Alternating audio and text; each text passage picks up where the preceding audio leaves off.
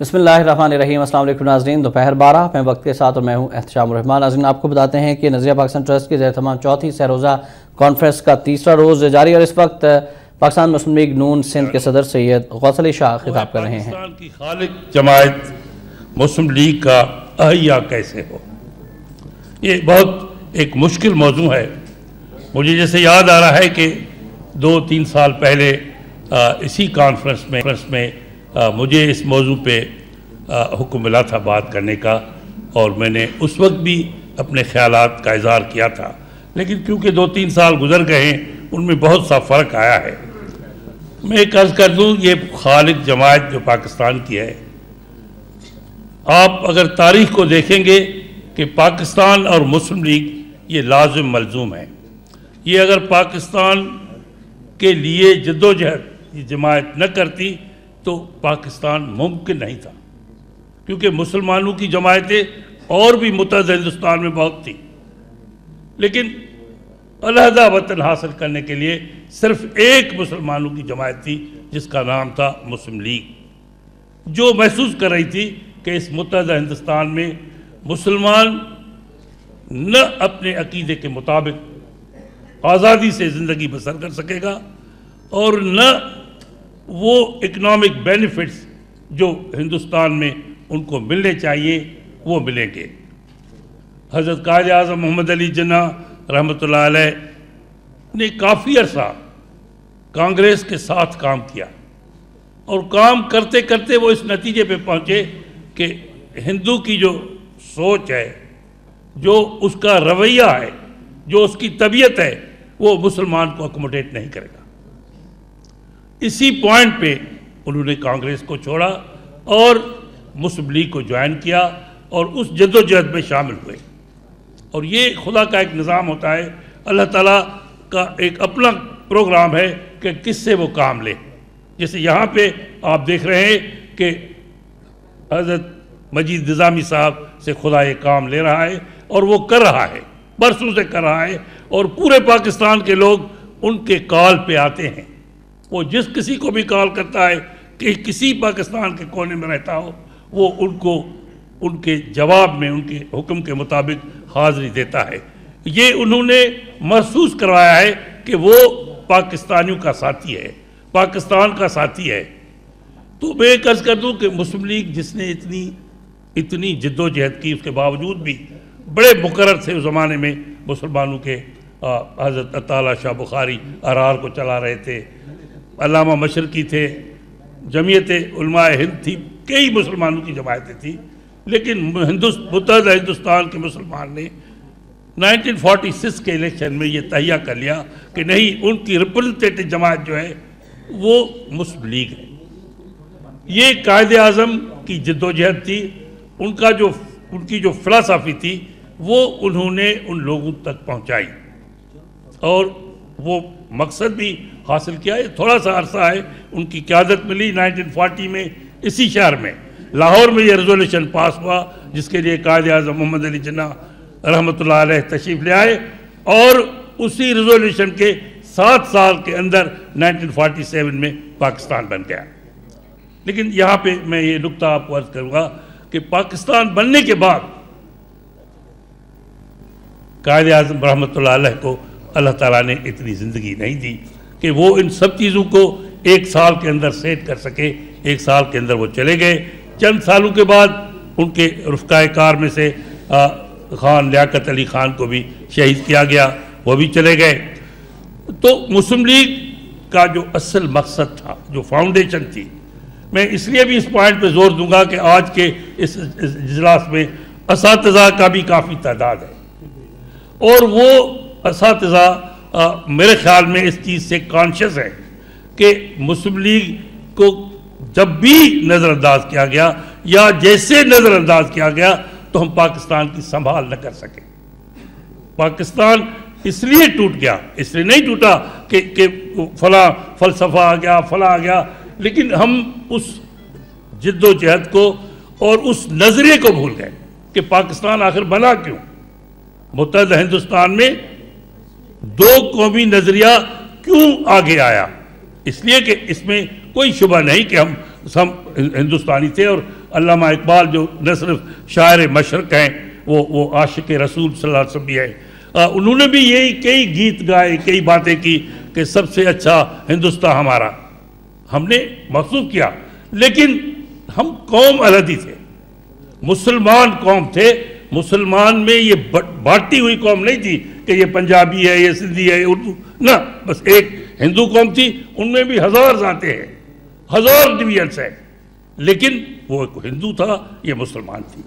और उस मुसलमान नजरे को जब लोगों ने, क्योंकि वो लोग मरे नहीं थे, पाकिस्तान का बनना जिनके दिल पे बहुत बुरा गुजरा, बड़ा तकलीफ़ था गुजरा, उन्होंने अपने मिशन को छोड़ा नहीं। और उन्होंने सबसे पहले एंट्री की स्कूलों में। कॉलेजेस में, उस फाउंडेशन को कमज़ोर करने के लिए, ये लोगों को महसूस कराने के लिए, उस हिस्से में कि आप बंगाली हैं। बंगाली तो बड़ी कौम है। बंगाल तो बड़ी चीज़ है। आपकी अपनी ज़बान है। ये उर्दू ज़बान आप पे कैसे नाफिज हुई? किस तरह आप पे ऊपर आई? तो वो जो कच्चा जहन था, जो जो आठ, नौ साल का था उस वक्त, जब पाकिस्तान बना था, और ये चलते चलते इस बात को आबियारी हुई, और ये मैं आ, कोई 81 में सुबह सिंध का वज़ीर तालीम था तो एक ईस्ट पाकिस्तान का डेलीगेशन आया वो आके मुझे मिला। मैंने उनसे बात की और मैंने उनको कहा कि आप कैसे फील कर रहे हैं अलहदा होने में। तो वो डेलीगेशन जो जो हमारे उस मशरकी पाकिस्तान से आया था उन्होंने कहा कि बज़ाहिर तो हम एक मुल्क हैं बन गए हैं हाँ लेकिन हम महसूस करते हैं कि ये ये ये नुकसान हुआ है बहुत। और हम आपको एक बात बताएँ जो आप अंदाज लगाएँ कि नुकसान की वजह क्या थी। तो उन्होंने मुझे बताया कि वजह ये थी कि इस तरह हालात को तब्दील किया गया कि जो मुसलमानों की थियालाजी है, थियालाजी पढ़ाने वाला मुसलमान नहीं था। वहाँ स्कूल टीचर हिंदू था। अब जो खुद आमिल नहीं है खुद बिलीव नहीं करता है उस थियालजी पे तो वो क्या सबक देगा? वो क्या लेसन देगा? तो उन्होंने बजाय उस कौम को, या कौम को आगे चलने के लिए एक जहर उगाई कि बंगाली भी एक कौम है। एक जैसे अब इस हिस्से में जो बचा हुआ पाकिस्तान है, उसमें ये कोशिश की जा रही है कि ये सब कौमें हैं। कौम सिर्फ़ एक है, वो पाकिस्तानी कौम है। ये सब जब बाहर जाते हैं, पाकिस्तानी पासपोर्ट लेते हैं। उनको पासपोर्ट नहीं मिलेगा अगर वो पंजाबी लिखेंगे, अगर वो सिंधी लिखेंगे। क्योंकि एक ही कौम है, पाकिस्तानी कौम है, और मैं बड़े बड़े अदब के साथ मैं डिफर करूँगा मोहतरम आगा पोया साहब के साथ कि मुस्लिम लीग के सिलसिले में जो उन्होंने अपने इजहार ख्याल किया कि उससे हम मायूस हैं, उसने कुछ नहीं किया। ये मुस्लिम लीग ही है जो दो कौमी नज़रिया और पाकिस्तान को संभाल रही है, जिसकी ये मिशन है कि हम पाकिस्तान को संभालेंगे, चाहे कुछ हो। और उसका लीडर कायद मोहतरम नवाज़ शरीफ सुबह शाम इस कोशिश में लगा हुआ है कि हम पाकिस्तान को हर हालत में संभालेंगे और इस कौमी नजरे को भी संभालेंगे। अगर ये मुस्लिम लीग कमज़ोर हुई उस हिस्से में, तब पाकिस्तान दो टुकड़े हो गया। और यहाँ भी अगर ये कोशिश की गई कि नहीं, मुस्लिम लीग ने कुछ नहीं किया, उसको कमज़ोर किया जाए तो उसके बहुत नुकसान होंगे। ये एक ही खालिक जमात है जिसको पाकिस्तान अज़ीज़ है, जिसको कौमी नज़रिया अज़ीज़ है, और जो पाकिस्तानी कौम में बिलीव करती है। लेकिन ये बड़ी साजिश है। अब देखिए कितने हिस्सों में बटी हुई है। ये मुस्लिम लीग के कितने टुकड़े हैं। ये ये खालिक जमात अगर आज भी मिल जाए, और जैसे ये मौजू है कि इसका अहिया कैसे हो तो ये अहिया, ये रिवाइवल जिसको अंग्रेज़ी में कहते हैं ये ये एक आदमी नहीं कर सकता। ये पूरी कौम का फ़र्ज़ है, पूरी कौम इस बात पे सोचे कि आखिर और पार्टियाँ जो बनी तो उन्होंने पाकिस्तान को दिया क्या? उन्होंने तो पाकिस्तान को ये दिया कि उधर तुम और इधर हम। ये मुस्लिम लीग ही जो पाकिस्तान को इकट्ठा रखना चाहती है, जो बिलीव करती है कि ये पाकिस्तानी एक कौम है और ये दो कौमी नज़रिया पे मुल्क बना है।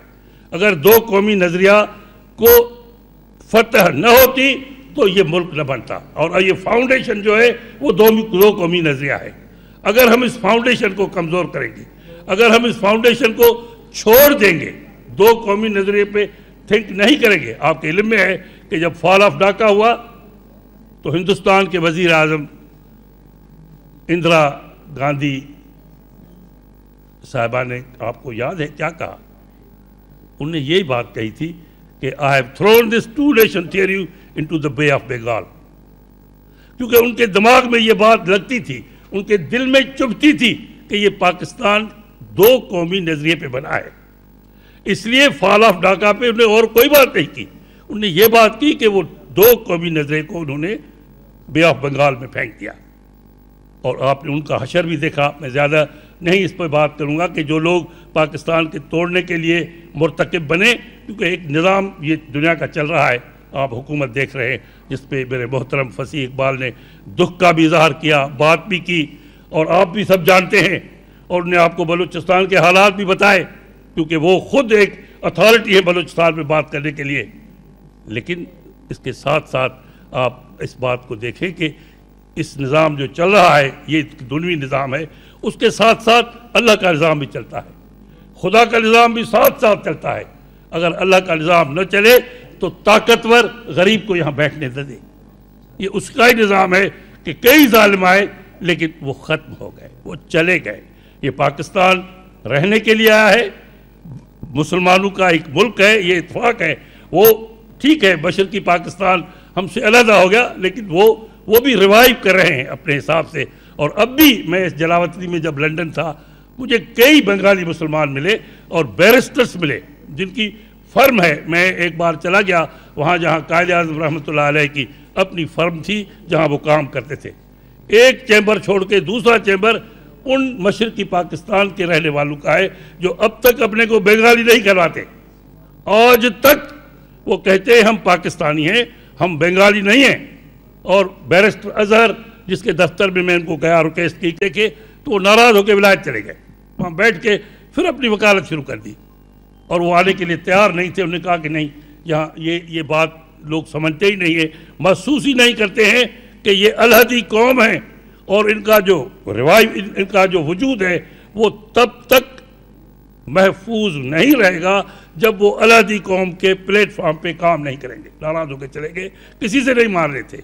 ये एक एहसान है हज़रत अलामा इकबाल का, जिन्होंने उनको कायद किया। जिन्होंने उनको खतूत लिखा, जिन्होंने उनको कहा कि ये मुमकिन ही नहीं है कि जब तक एक ख़िता अर्ज़ पाकिस्तान के नाम से नहीं बनेगा, अलहदा हिस्सा नहीं बनेगा, तब तक न मुसलमान अपनी फ़िलासफ़ी, अपना अकीदा, अपना, अपनी जो जो मज़हब की रवायात है कर सकेंगे और न वो जो इस्लामी निज़ाम है, इस्लामी फलाही ममलकत बननी है, वो बनेगी, वो तब तक नहीं बनेगी जब तक के अलहदा मुतहदा हिंदुस्तान से अलहदा हिस्सा पाकिस्तान की शक्ल में ना आए।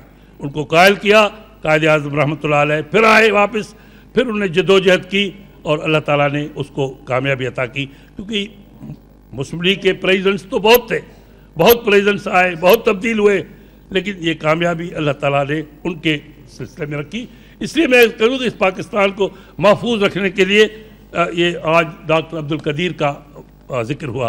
मेरे ख्याल में ये भी एहसान फरामिश होगी अगर उसके, उसका ज़िक्र न किया जाए। और फ़र्क आप देखें कि हिंदुस्तान को अब ये ये एटम बम एक मुसलमान ने दिया।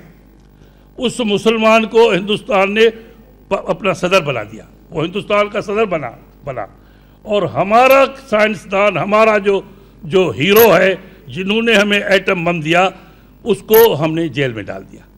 ये तजाद है। ये तजाद इसलिए है कि वो जो मुस्लिम लीग की सोच है ना वो उन लोगों में आई नहीं। और यही मुस्लिम लीग का लीडर कायद, अपना मोहतरम कायद जनाब मोहम्मद नवाज़ शरीफ, जब उस पर वक्त आया, उसी उसी आइटम बम को, जब डिटोनेट करने का वक्त आया तो बड़ा प्रेशर पड़ा। क्लिंटन ने भी फ़ोन किए, कई पैसे दिए, सारा दिया, लेकिन नवाज़ शरीफ के सामने एक ही बात थी, और ये मियाँ मजीद निज़ामी साहब ने भी उनसे मुलाकात की। उन्होंने कहा कि भाई, एक तरफ़ कौम है उन्होंने धमाका कर दिया। वो धमाका करके दुनिया को बता दिया कि नहीं, हम एक ताकत है। और उस ताकत के बावजूद अगर हम कमज़ोर हाथों में आ जाएँ, हमारी हुकूमतें इतनी कमज़ोर ये ये ये आइटम हम किस लिए है? हम पे ड्रोन हमले हो रहे हैं, हमारे लोग सैकड़ों के तादाद में मर रहे हैं और कोई पुरसान हाल नहीं। ये तब होता है जब वीक हुकूमतें होती हैं, जब कमज़ोर हुकूमतें होती है, वरना वो वो अपना मोहम्मद नवाज़ शरीफ भी तो ऐसा ही इंसान था नहीं वो भी वो भी इसको अपना इस इस इस बात से डर जाता कि भाई ये अमेरिका साहब कह रहा है कि ये न करो, आपको ये करेंगे सेंक्शंस लगाएँगे, ये होगा, पैसे उनका जो करना है वो करो, हम धमाका करेंगे और कौम को बताएँगे कि हम एक मज़बूत नेशन है और हम हम न्यूक्लियर पावर रखते हैं और we are proud of it हम डरते नहीं हैं किससे। तो ये सारी चीज़ें जो हैं, ये ये मुस्लिम लीग का जो सोच है, जो अप्रोच है उसको रिकगनाइज करना पड़ेगा। मैं किसी पे ये मेरे मेरे अप्रोच ज़िंदगी की ये है कि मैं ऐब नहीं देखता हूँ, कमज़ोरियाँ नहीं देखता हूँ, नज़र आती है मुझे, लेकिन मैं ज़िक्र नहीं करता हूँ। लेकिन ये मैं फ़र्ज़ समझता हूँ आप सबको बताने के लिए कि इस वक्त मुस्लिम लीग की जो रिवाइवल है, वो इसी इंसान के ज़रिए होगी, जिसका नाम मोहम्मद नवाज़ शरीफ है। हम इस सोच को जहन में रख लें और इस बात को आगे चलाएँ। तो मैं एक ये गुजारिश की कि पार्टी इकट्ठी हो जाएँ रिवाइव ये भी रिवाइवल का एक हिस्सा होगा। और दूसरी ये कि ये जो फाउंडेशन है, नए सिरे से स्टार्ट करनी पड़ेगी। आप देख कि बशरी की पाकिस्तान में वही आठ, नौ सौ साल के बच्चे थे जिनको इस ने ये बात बताई कि भाई आप तो एक अलहदी कौम है। आप एक अलहदी कौम है और फिर वो जब अठारह उन्नीस साल के बने तो आपने देखा कि वो वो वो किस रास्ते पे चल पड़े। तो हमें फिर ये ये भी हमारा फ़र्ज़ है एजुकेशन इंस्टीट्यूशंस में हम किताबों में ज़िक्र करें। ये उस्ताद की जो फरियाद थी ये बड़ी ताकतवर थी कि इन किताबों में न कायद अज़म का नाम है न उस खालिक जमायत का नाम है। तो ये सारी चीज़ें भी एक, एक रिवाइवल के लिए काम आएँगी और उसकी फाउंडेशन उसकी बेहतरी मेरे ख्याल में फिर इस से से शुरू होगी।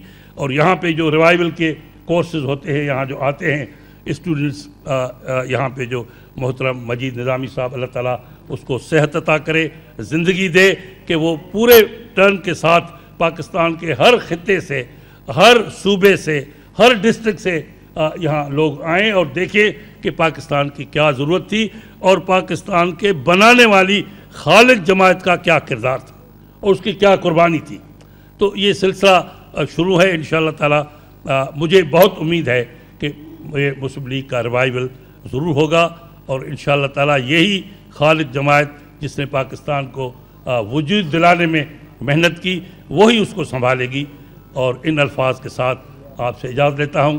पाकिस्तान पाइंदाबाद।